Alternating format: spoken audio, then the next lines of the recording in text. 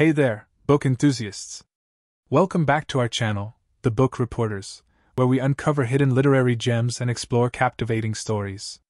Be sure to comment and subscribe below. Late in the night of October 23, 1731, a fire broke out in the apartments below the library of the appropriately named Ashburnham House. Ironically, this location had been chosen to store the Cotton Library collection of rare manuscripts after its previous home had been deemed too susceptible to fire. It was also the home of the Royal Collection of Manuscripts.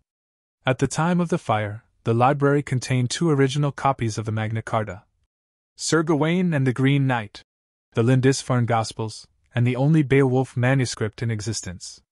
Wellesley describes the frantic efforts to save as much as possible in difficult conditions. The books were locked in cases in a long, narrow room, with windows on each end through which the librarians began throwing the books.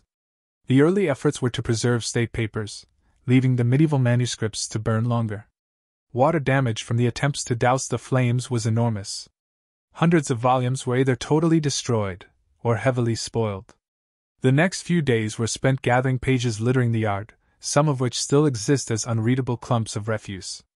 Luckily, some of the texts which were destroyed, such as the Life of Alfred the Great by the monk Asser, had been copied long before the fire.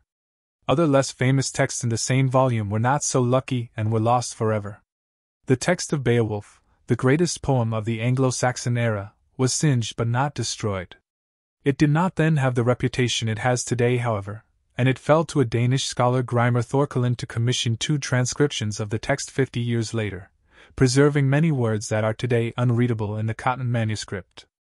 Unfortunately for Thorkelin, his work was largely destroyed during the Napoleonic Wars when the British fleet bombarded Copenhagen in 1807 and destroyed his home.